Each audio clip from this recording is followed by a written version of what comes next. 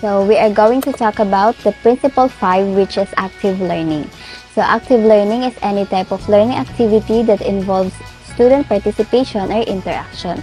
So one of the major activities that takes place in this principle includes peer interaction. So there is a collaboration among students. They learn best through peer interactions in which they work together creatively and collaboratively to in order to solve problems. So next is the second language, active learning. So here, students now adapt activities that require physical movement in order to effectively acquire another language. So they begin with hear, see, do, or the TPR activities. And the last is the purposeful talk.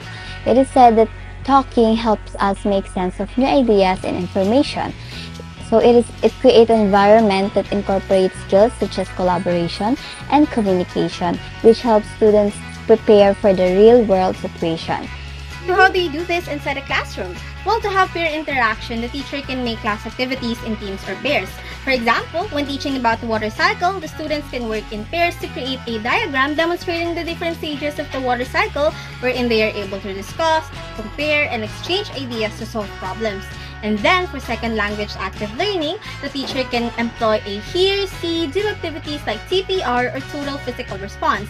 A great scenario for that is when introducing a new vocab related to the daily routines in English, the teacher can say stand up while demonstrating the action and then the students will observe the teacher and then respond by standing up like this one. Stand up! Stand up!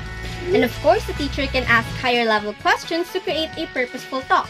For example, the teacher can ask the students to analyze a character's motivation in a story during an English lesson. And then the students will have the opportunity to think their answers first before discussing their ideas in small groups wherein they can share their insights. In general, active learning enables students to collaborate. It can be in a creative manner or just simply brainstorming. It also allows them to acquire confidence in learning a new language and make sense of new concepts and facts. Students that adopt this strategy will benefit from a variety of outcomes, including an improvement in their ability to collaborate, think critically, and solve problems. While they interact with a certain topic, by working on any mode of activities, it can help them to reinforce knowledge, concept, and skill, as well as an increase in learning retention and engagement. Additionally, they will get more motivated by being ready ahead of time and more confident in their efforts. And that's all about principle number 5, which is active learning.